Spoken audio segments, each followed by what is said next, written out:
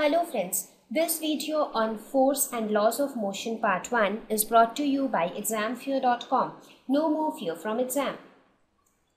Topics to be covered in this lesson are Introduction, what causes motion, force, balanced and unbalanced forces, Galileo's idea of force and motion, Newton's first law of motion, Newton's second law of motion, mass versus inertia, Newton's third law of motion, and conservation of momentum. So, what is the objective of this lesson? From the name of the lesson, what do we see? We see force and laws of motion. So, in our previous lesson, we talked about motion. We talked about what is motion, what are the different types of motion? We discussed about circular motion we discussed about uh, rectilinear motion. We also talked about some of the quantities which are needed to describe the motion of an object. For example we spoke about speed velocity acceleration distance displacement. So these all were the quantities which when put together give us an idea about the motion of an object and so that is where we use the three equations of motion which actually describe the motion of an object, right? So that was our agenda in the previous lesson. So that's what we studied. We studied about motion. So now in this lesson, we want to know what causes motion. Why does motion take place at all, right? So let us see the cause of motion. Now, what is the cause of motion? An external force. What is an external force? Okay, let us see. Let us look at this example. Do you think that, uh, suppose if you have a ball, do you think that a ball ever moves on its own? If it does, we fear that it is some uh, magical or mysterious event that is taking place, right? So normally a ball when kept on a table will never move on its own. It will be at rest. It will move only when you apply some force on it. Right? So external force is needed to make a stationary body move. So that means a body which is at rest will be in motion only when an external force is applied. Similarly, let us suppose a body is moving right? So do you think that the body stops on its own? Yes it does sometimes. Let us suppose you applied some force on the ball the ball started moving. But will it keep on moving indefinitely? Not at all right? After some point of time it will stop. So why do you think that the body stopped? The body stopped because again there was an external force which was applied on it. And what was that force that is frictional force right? So we will let us not concentrate much on frictional force and all those stuff here. Here what i'm trying to say is a body which is at rest will start moving when an external force is applied on it. Similarly a body which is moving will come to rest only when an external force is applied on it. So that means force is the cause of motion. Force can make a body move. Force can stop a moving body right? Now in different scenarios you have different types of forces acting on a body to make it move or to stop it right? So we will talk about all those scenarios in detail one by one. I mean we will not get into the depth at the very beginning right? So gradually step by step we will talk about everything. So now we got the we got reply to our question what causes motion? It is force that causes motion. So let us quickly talk a bit about force that what is force. So here in order to, right now I will focus my study only on motion, right? So now for that we will talk about these two categories of force that is balanced and unbalanced forces. What is a balanced force? What is an unbalanced force? We will talk about this because this is going to help us to understand the motion of objects. So what are balanced forces?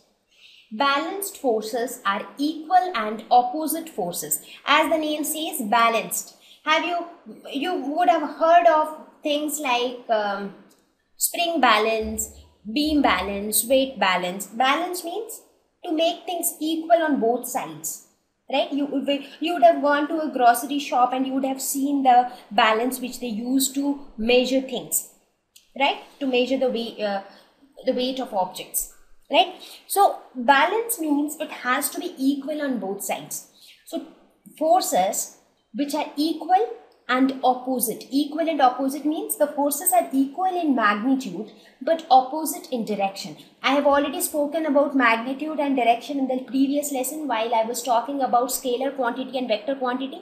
What is magnitude? The numerical value which defines the uh, which defines the measure of a quantity. For example, when I am talking of force, what is the unit of force? It is Newton, right?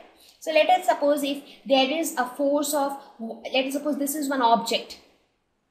So if you apply a force of 1 Newton in this direction, then another force of 1 Newton is applied along this direction. So that means magnitude of both the forces are same. What is the magnitude? It is 1. So 1 Newton is the magnitude. So magnitude of both the forces are same. So we say that they are equal forces and they are in opposite direction. That is why we say they are equal and opposite. So equal means they are equal in magnitude. Opposite means they are opposite in direction. Right? So force again is a vector quantity. I'm sure you would have studied about the basic of forces that what is a force, what is the SI unit of force, how do we calculate force in your previous classes. Even if you have not studied, you will study about it in this lesson itself as we go ahead. So balanced forces do not cause any change in motion because they are equal and opposite. So if you are trying to pull something, now what do I mean when I say that you apply a force of 1 Newton in this direction? That means you are trying to bring this object, make this object move along this side. Now when you apply another force of 1 Newton along this side, that means you are trying to move this body along this direction.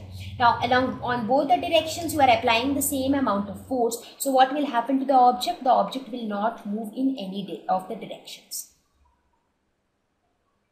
So these balanced forces do not cause any change in motion. So the best example that you can think of when uh, trying to understand balanced force is the example of tug of war. I, am sure you most of you would have played this tug of war, right? What happens? There is a team there are two teams on each side and then you have uh, a thick rope which both the teams try to push on both ends. Now what happens? When both of them, so the, the, these team, this team 1 is applying a force along this direction and this team 2 is applying another force along this direction. Now when both of them are applying force, now the forces are opposite in direction that is for sure. Now when the magnitude of the forces are the same, when the forces are equal as well, then what happens? It is in this condition. When none of them wins because both are applying equal forces on both directions. Right? Now what happens if the forces are not equal? So there comes the unbalanced forces. So unbalanced forces are the unequal forces. That means the magnitude of the force in one direction is greater or smaller than that of the other direction. So in this case, the forces can be in the same direction or opposite direction. So let, us suppose if you have an object, there can be two scenarios. Either the magnitude is different or the direction is different. Let us suppose this is your object O. You apply a force of 1 Newton along this side and you apply a force of 0.5 Newton along this side. So what will happen? A greater force is being applied along this direction. So the body will start moving along this direction, right? Now there can be another scenario where you have this object O. You apply a force of 1 Newton along this direction. You apply another force of 1 Newton along the same direction. So in this case, you can see that the forces are equal, but they are equal in magnitude, but they are also along the same direction. So what is happening? The net force along this direction is 0 and the net force along this direction is 2 newtons. Therefore, the body will start moving along this direction again right? So we can see that unbalanced forces she causes a change in motion, right? So in this case again you can think of the example of tug of war when let us suppose if the force along this side is more then the entire thing gets pulled along this direction that is the motion takes place along this direction and this party at that instant of time is considered to be winning.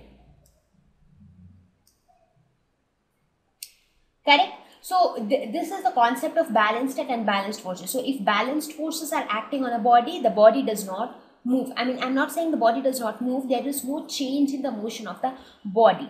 Now, when we talk of unbalanced forces, it causes a change in motion because the forces which are acting on the body are unequal forces acting along the same direction or opposite direction. So this is a quick review of balanced and unbalanced forces. So the fact which will help us in as we go ahead with this lesson is that balanced forces does not cause a change in motion whereas unbalanced forces cause a change in motion. Thank you. Please visit examfear.com to watch free educational videos Try free online tests, get the best quality study materials, study from the best tutors and mentors, and much more. Thank you once again.